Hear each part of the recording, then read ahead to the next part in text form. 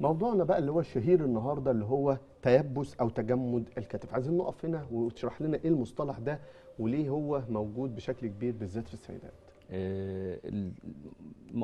بيظهر جدا زي ما حضرتك نوهت إن معظم سيداتنا أو في مرضى السكر أو في تقدم السن بيحصل أو الاستعمال المفرط للمفصل. وأكتر حاجة كمان بنلاحظها في سن الشباب إن ممكن معاها شنطة اليد ديت وتشيلها على كتفها بأسلوب ف- على عضلات هذه ممكن يحصل اختناق للأعصاب ما بين العضلات منهم أشهرهم dorsal scapular nerve وأهملنا في علاجه. تمزق الأربطة وتمزق العضلات الأول ده ممكن يظهر وعدم العلاج السليم ليه يحمل لنا مشكلة. كل دي أسباب بتؤدي إن تتفاقم مواد الالتهاب في مكان في المفصل الكتف. فلما تتفاقم تتراكم كل دوت فالجسم يتفادى حركة المفصل.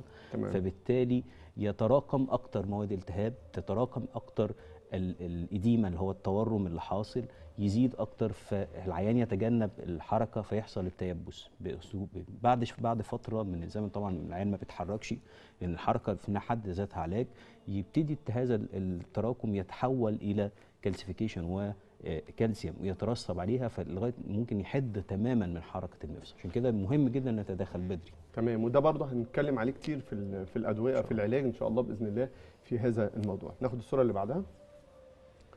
يعني الصورة دي برضه موضوع آه، تكلس آه، مم. أوتار الكتف بنسمع الاسم ده كتير بنسمع آه، في علاج كتير لعلاج تكلس أوتار الكتف عايزين نعرف برضه من حضرتك إيه الموضوع ده؟ التكلس هو ترسيبات من الكالسيوم بتحصل في مكان الالتهاب هو محاولة من الجسم للعلاج فبيزود المواد بيزود الدم الواصل لمكان المشكلة.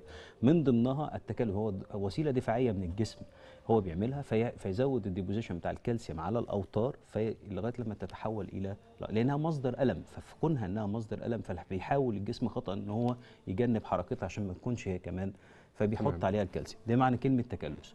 التكلس دوت إحنا ممكن بالتداخلات المحدودة زي ما قلت لحضرتك أرجعها إلى إن الجسم يستفيد منها أحولها لمواد مفيدة الجسم أو الرباط يستفيد منها ويرجع لطبيعته مرة تانية.